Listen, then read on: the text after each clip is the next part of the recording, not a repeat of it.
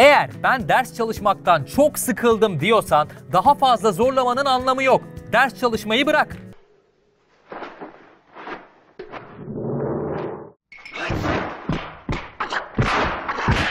Tabii ki günlerce değil, birkaç saat ya da gerekiyorsa bir günlük mola ver.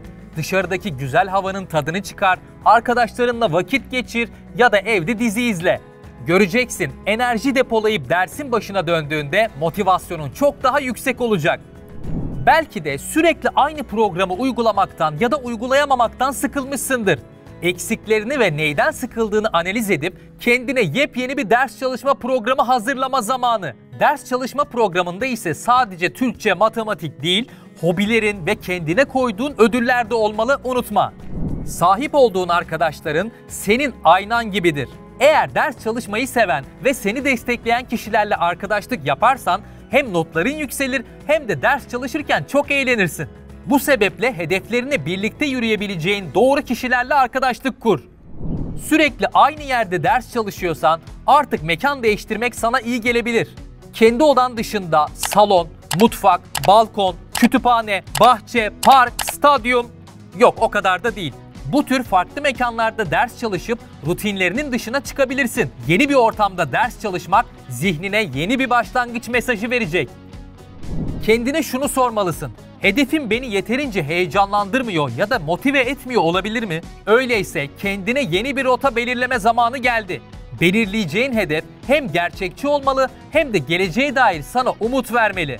Düşünsene birkaç yıl sonra kusursuz bir yabancı dil, keyifli bir arkadaş ortamı ve sonrasında da harika bir staj. Bu hayallerinde sana destek olacak bir okulu kazanma hedefinden daha iyisi olabilir mi?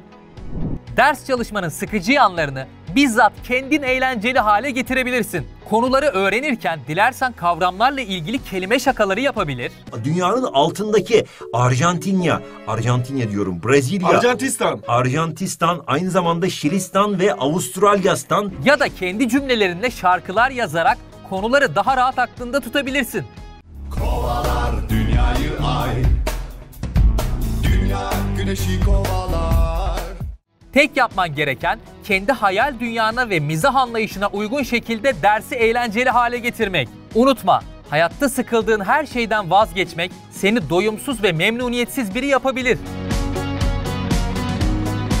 Karşılaştığın tüm zorlukları kolaylaştırmaksa senin elinde. Yeter ki iste ve harekete geç.